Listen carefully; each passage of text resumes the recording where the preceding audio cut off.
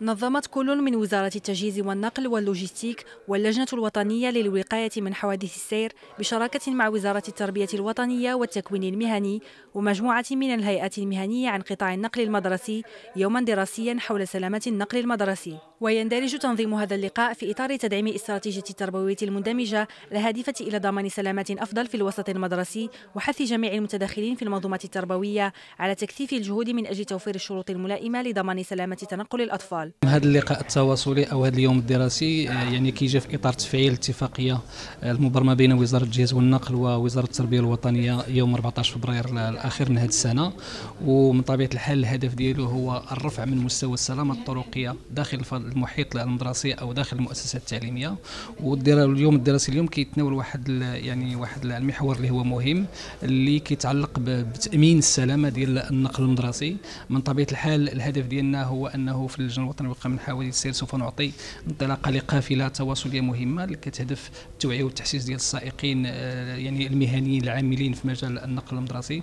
ولكن كذلك تقديم كل آه، المحاور المتعلقة بالسلامة ديال العربات والكيفية ديال التجهيز ديالها وشنو هي الشروط ديال السلامة الواجب توفرها في هذه العربات.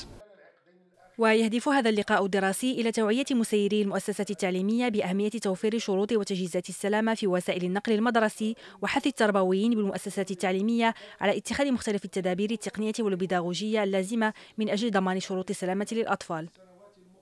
تنظيم هذا اللقاء في إطار التحسيس بالأهمية ديال احترام قانون السير ولا سيما أن القطاع ديال التعليم الخاص في المغرب الآن عنده واحد الحظيرة السيارات اللي تناهي 6000 في السيارة أو ما يزيد. وفي المدن الكبرى بالأخص الدار البيضاء والرباط هذا العدد هذا تيكون عدد كبير. الدار البيضاء بوحدها تقريبا فيها تقريبا 2600 حتى 2700 سيارة. ولما كنستحضروا المخاطر ديال الطريق لا سيما أن هذه السيارات كتحرك أربعة المرات في النهار باش تاخذ الأطفال ذهابا وايابا إلى المنازل ديالهم. آه كذلك تنستحضروا الأهمية ديال التحسيس ديال السواق ديال هذه السيارات هذه باحترام قانون السير والسهر على صحة وسلامة الأطفال اللي اللي كيكونوا معاهم في هذه السيارات. تظهر لي واحد الالتفاته طيبة لأن أي إصلاح في نظري يبتدئ من التعليم يبتدئ من الطفل يبتدئ من الابتدائي يبتدئ من الإعدادي من الثانوي.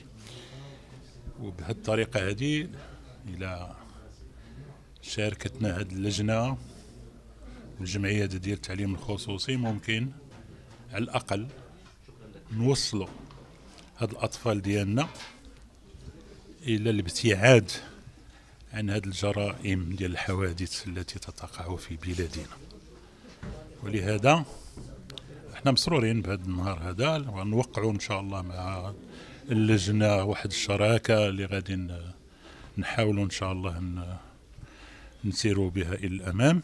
وتميز هذا اليوم الدراسي بتوقيع خمس اتفاقيات شراكة وتعاون بين كل من اللجنة الوطنية للوقاية من حوادث السير والهيئات المهنية العاملة في مجال التعليم الخصوصي وذلك من أجل إعطاء الانطلاقة لقافلة التوعية والتحسيس لفائدة السائقين المهنيين العاملين في مجال النقل المدرسي والتي ستجوب كل مناطق المملكة.